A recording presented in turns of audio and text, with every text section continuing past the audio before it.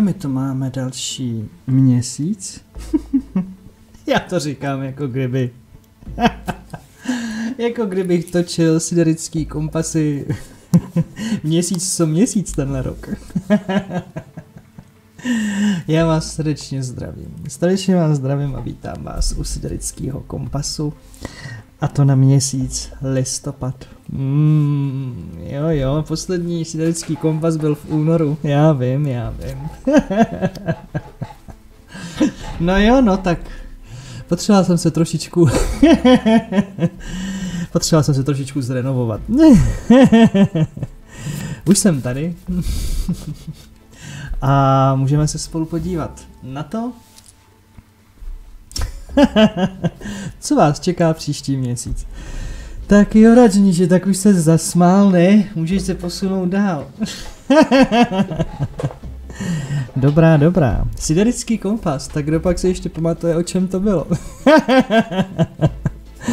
no jo, no jo, bylo to o tom nahlídnout do dalšího měsíce a získat nějaký vodítko. Ale já, než jsem spustil kameru, tak jsem tady nad tím tak přemýšlel, říkám, no možná bych měl teď něco trošičku vysvětlit. Vysvětlit v tom duchu, co se změnilo vlastně na tom YouTube kanále tím, že vznikla placená verze a ono to totiž není jenom v tom. a ono se vlastně de facto pro vás jako divák nic nezměnilo. Změnilo se něco u mě, jako v tom, jakým způsobem teď o tom YouTube kanále budu mluvit. Protože to, co o něm teď budu říkat, pro něj vlastně platilo vždycky, ale málo kdo si to uvědomoval.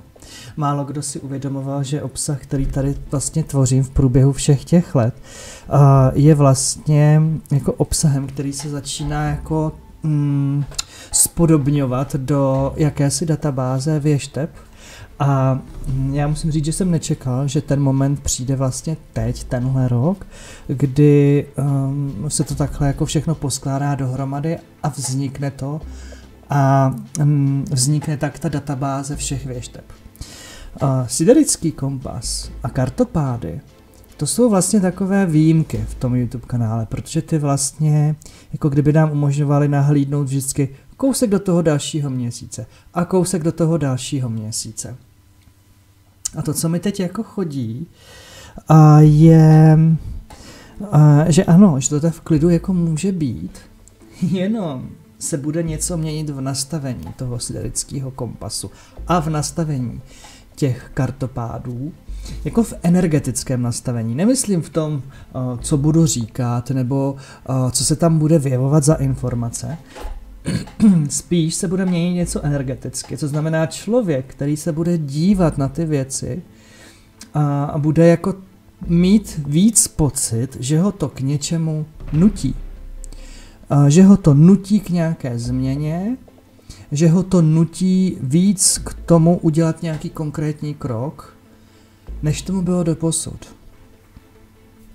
Já vlastně nevím, proč to tak je. Já jsem si toho jenom všimnul, když jsem teď točil vlastně první černý kartopád, že to tak je. A možná s tím souvisí to, když jsem dělal průzkum všech těch věšteb, nemyslím teď, když jsem ty věštby přeuspořádával, ale když jsem, myslím, že to bylo koncem minulého roku, na, nabádal lidi k tomu, aby se podívali zpětně do siderických kompasů, co řešili.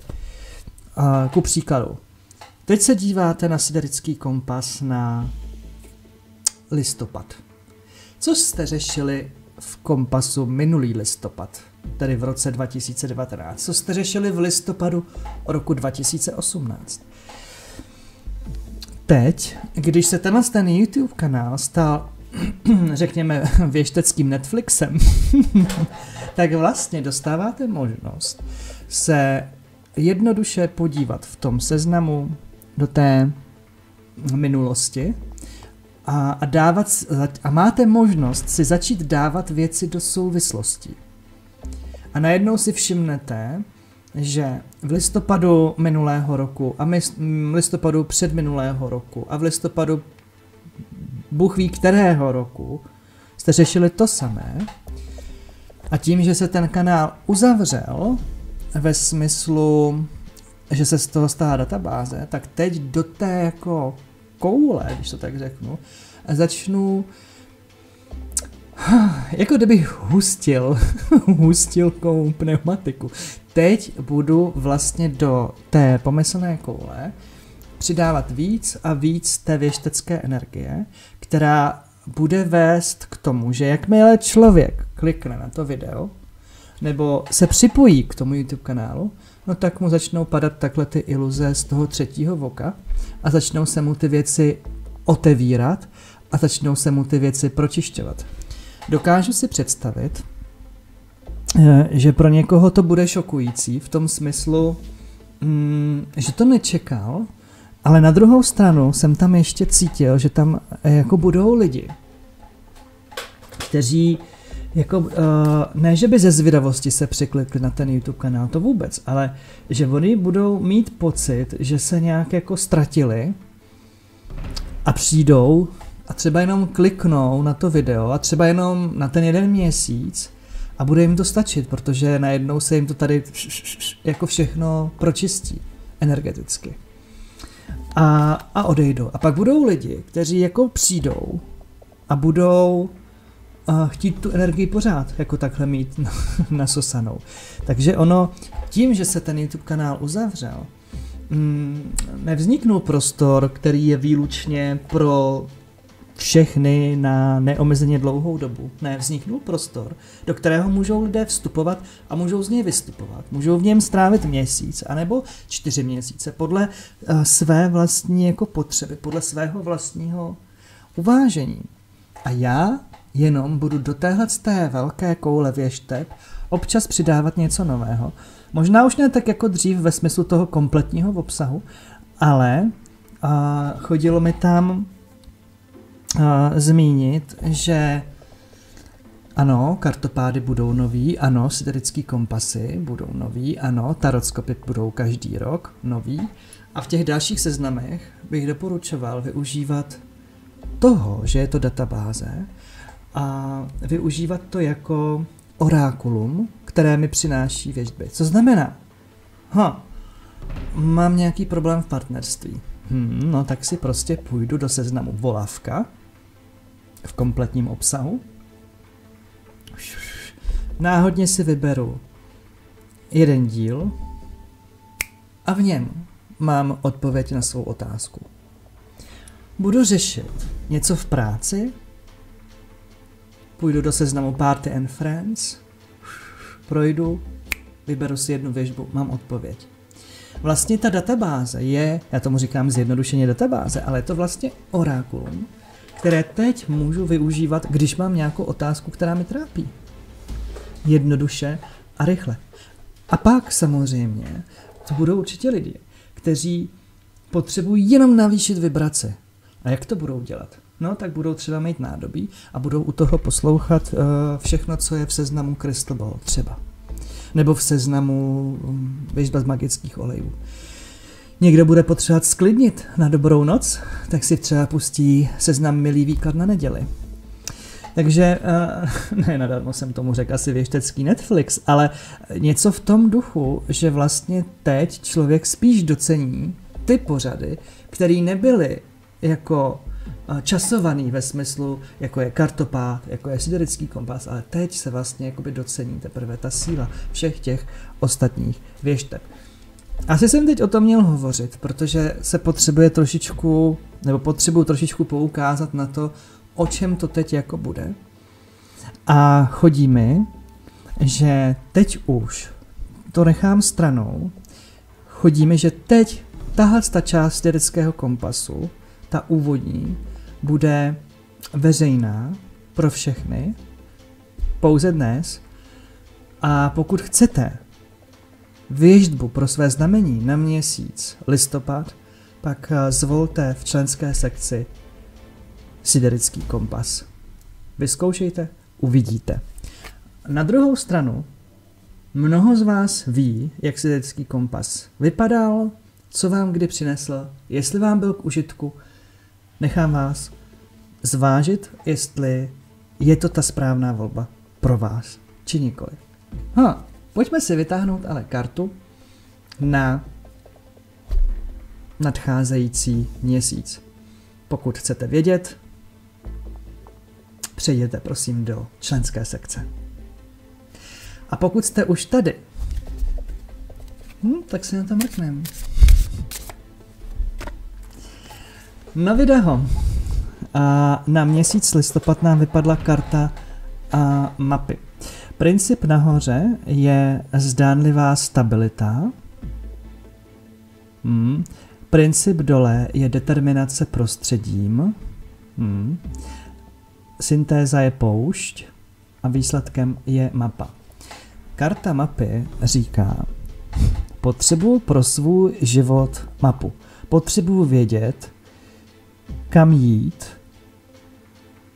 ale spíš než to kam, jak se tam dostat. Hmm. A jestliže syntéza je poušť, zdá se, že moje cesta k cíli není úplně jednoduchá. Proč? Protože mě determinuje prostředí. Determinace to je něco jako ovlivnění, to je něco jako určení mého osudu, tím, že žiju v určitém místě, obklopený určitými lidmi, v nějakém konkrétním prostředí, které má určité nastavení. To ovlivňuje, jak, jak i kdy a chodíme i proč se mám někam vydat. Zdánlivá stabilita jako princip nahoře poukazuje na to, že mě teď nechávají trošičku spát na růžích. Jakože nechávají mě si myslet, že je všechno v pořádku. Že listopad je pro vás zdvihnutým prstem, protože nejenom, že vás čeká cesta přes poušť, což vy ale tušíte a víte, čeká vás také prozření, které nepřijde v listopadu, ale někdy příští rok, ukáže se, jak vaše stabilita byla pouze zdánlivá a šťastní vy, kteří se vydáte vlastně na tu cestu už teď, bez ohledu na to, jak těžká nebo lehká bude. Hmm. No, docela hustý. A ne, že bych se na to těšil. A mě třeba pod tohle s tou kartou uh, chodí, no, tak jo, tak všichni víme, jak ta situace je uh, složitá, my všichni víme, jak ta složit, situace není jako úplně OK s tím koronavirem, když to takhle řeknu. Ale to, co ještě jako nevidíme, jsou důsledky. Jako ekonomický. My si jenom myslíme, že je vidíme, ale přijde krize. A možná bude ta krize ve světovém měřítku. A poušť potom bude představovat tu v úvozovkách spoušť, kterou to napáchá a čím budeme všichni procházet. Determinace prostředím bude to trošičku mm, ovlivněno tím, kde žijeme a v jakém společenství žijeme. Takže Evropská unie, Česká republika. Jsme tím prostě ovlivněni. Možná, že Evropská unie nám teď dává pocit, že ještě všechno v pořádku. Možná, že nějaký centrální banky se snaží ještě něco jako uh, pořešit, ale zdá se, že to bude ještě tak nějak trošičku všechno jinak. Hmm. No. Chodí mi teď vytáhnout ještě kartu uh, truchlení. Hmm. A truchlení proto, aby jsme si ukázali, když půjdeme tou pouští, jaký odstín smutku sebou potáhneme, nebo hm, jaký odstín smutku sebou potáhneme. Tíha, no vydá ho. Takže my nejenom, že půjdeme pouští, ale půjdeme tou pouští v obrovské tíze. Ta tíha bude způsobená tím, že nemáme dostatek pitiva, Možná jsme si mysleli, že ta poušť bude kratší. Možná jsme si mysleli, že budeme potřebovat méně pít, méně jíst. Tíha, která tady je zmíněna v truchlení, je ovšem tíhou psychickou, protože mám deprese, nevím jak z určitých věcí ven.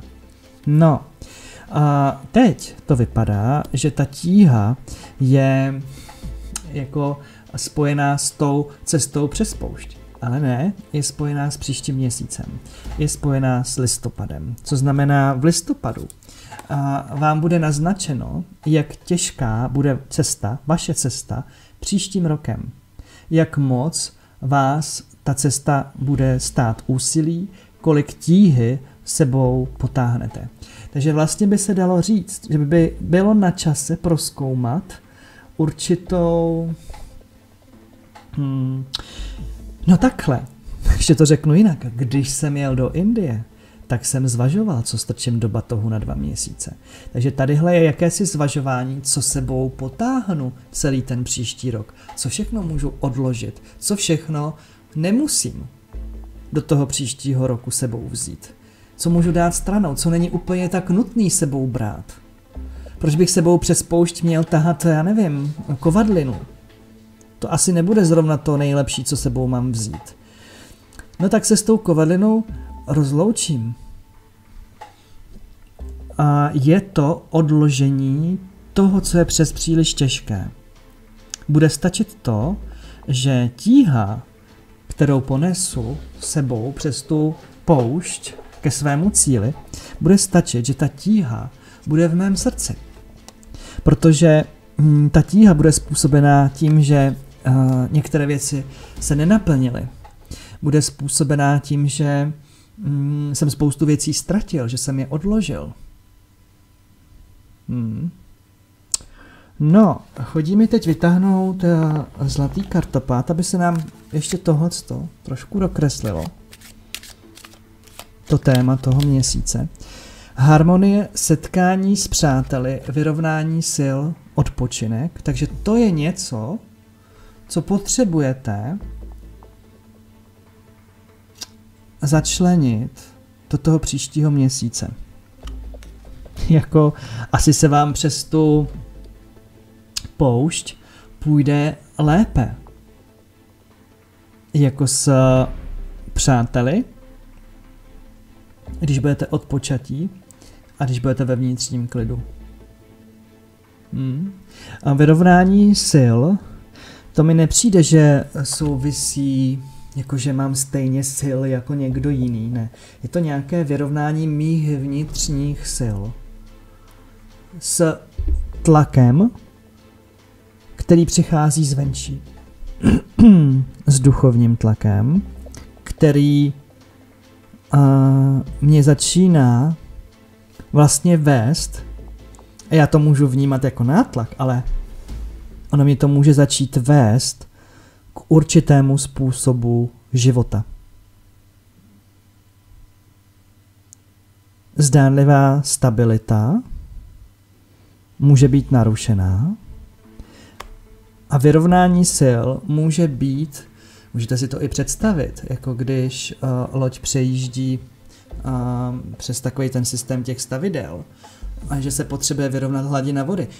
Představte si, že to vyrovnání sil je něco v tomto duchu, že se vlastně vyrovnává jako hladina energie uvnitř vás s energií duchovní, která vás má k něčemu přivíst.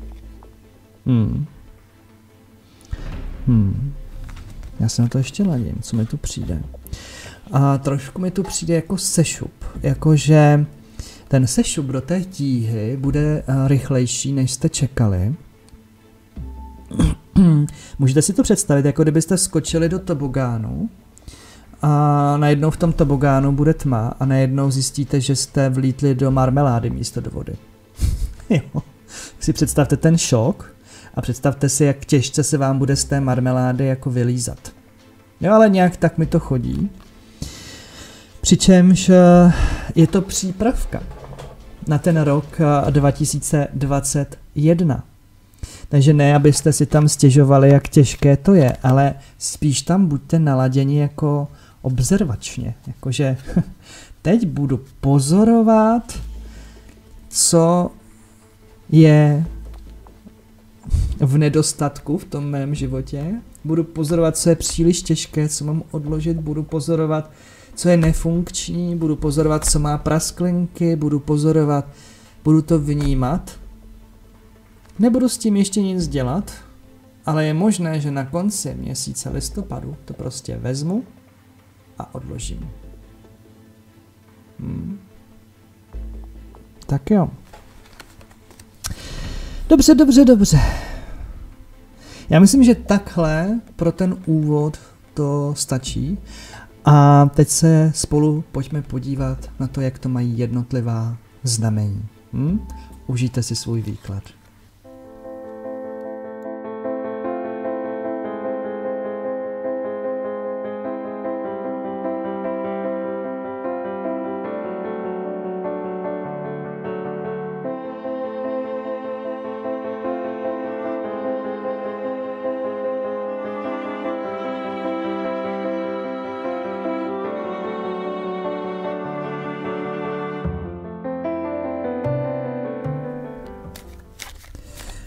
Milí skopci, a zrození od 18.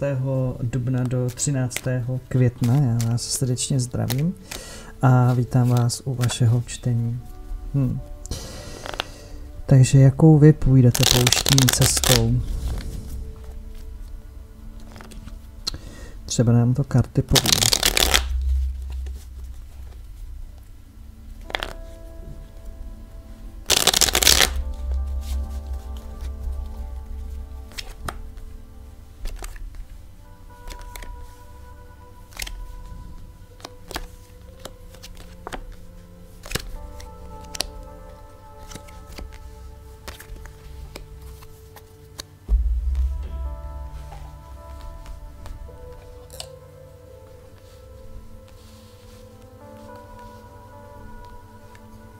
Je to sbírání síly, vnitřní síly. A to je takovým jako ústředním tématem. Um, ale ta síla, která se tady sbírá, vůbec nevzchází z něčeho, co jsem dokázal. Jo? Je to spíš uh, síla uh, zrozená jako z jemnosti uh, srdce. Uh, je to síla, která vychází z otevřenosti a protože tady máme páže kalichů, může nám toto páže kalichů zprostředkovat tuto sílu skrz zprávu od někoho, kdo je vůči nám mladší. Může to být zpráva od vnuka, vnučky, zpráva ale také od mladého chlapce, mladé dívky, nebo mladé ženy, mladého muže, kteří se do nás nějakým způsobem otiskli. Nechce se mi říct zamilovali. Jo, to není úplně to samé. Hm, je tady cítit prostě tato energie, která mnou prostupuje. Zajímavé je, že mm, toto dítě, které nám tady stojí takto uprostřed, stojí pod králem mečů, jako kdyby pod svým otcem, který se ne tak úplně o to dítě zajímá. A zároveň je tady císařovna, jako matka toho dítěte, která jako kdyby se snažila volat o pomoc ve smyslu, že ukazuje, že je tady, ukazuje, že je rozhodná, že má sílu, že má všechno mm, mm jako k dispozici, aby o sobě dala vědět. Ta císařovna může dělat velmi prazvláštní kroky. Může se odchylovat od toho muže, může mu dělat scény, ale zároveň v ní cítím, že k tomu má jako důvod. Ona to nedělá bezdůvodně. Tento krámečů se vůbec nestará o její dobro, nestará se ani o dobro toho dítěte. To dítě tady jako kdyby čeká do noci, než ten krámečů přijde. A stráví s tím čekáním spoustu času, vyhlíží ho z okna, ale vlastně ani tak uh, není jako spokojené, i když se spokojeně tváří. A toto nemusí být nutně malé dítě. Ono to může být, že jako dospělé dítě čeká na to, až se otec ozve, nebo ono to může být, že i skutečně muž ve věku, já nevím, 30 let čeká, že otec se ozve nebo přijde na návštěvu. Ale pro toho otce je to um, velmi jako nepříjemné, těžké, nezvladatelné. Ten otec jako kdyby směřuje do uh, složité situace, uh, na kterou nemá. Um, čím složitější to je, tím víc ho to tam táhne a on se tomu nemůže jako ubránit. Uh, chodíme, že ani zranění ho od toho neodvleče pryč. Je tady cítit určité jako spoutání, sevření, jako není možné ho od toho oddělit. On směřuje tím zrakem do té složitosti a je tím naprosto fascinovaný a pohlcený a toto všechno mu přijde jako úplně velmi jako jednoduché. Velmi jednoduché tak jednoduché, že to vůbec nestojí za jeho pozornost, za jeho, o jeho péči to vlastně nestojí. Jako pozornost si to ani vlastně nezaslouží. A ten, kdo tím strádá, je toto dítě. A tato žena si pořád myslí, že vyhraje, ale mm, také nevyhraje, nemůže tady nad tím vyhrát. Eh, dokud tam bude v energii, že vyhraje, přijde o spoustu své energie, spoustu své krásy a o možná i o příležitost potkat někoho jiného. Je to skutečně žena, která je v nějakém vztahu. Um, nemusí být nutně ten vztah, jakože jsou ti dva sezdaní, ale je vidět, že už se od toho vztahu uh, definitivně oprostí, protože to je jediný způsob, jaký jí to dá klid. A ten uh, král mečů, ten chce jenom obdiv, chce jenom uh, být pochválený, chce být jenom za toho, uh, komu se věnuje ta pozornost péče a rozhodně ho nezajímá žena s dítětem mm, nebo uh, nějaké jako názory kamarádek. Jo? Úplně mi chodí, že to je jako nezájem. Co se týká té složitosti, to je daný osudem on potřebuje nějakou složitost pro to, aby mohl dát smysl vztahu na dálku. On umí dát smysl vztahu na dálku. To je něco, co ta žena ale nechce. Jo. On jako kdyby podporoval svou rodinu na dálku, ale je to jenom v pozici jako přítele je z toho vyloučeno milostné dobrodružství, je z toho vyloučeno všechno ostatní, co tam ta žena vlastně chce.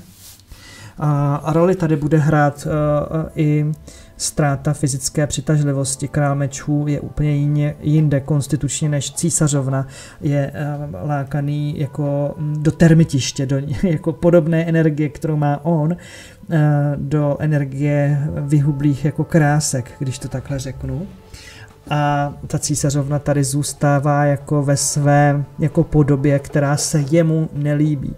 Ale část té podoby ji on věnoval tím, že ji nechal jako spoustu starostí, spoustu potíží.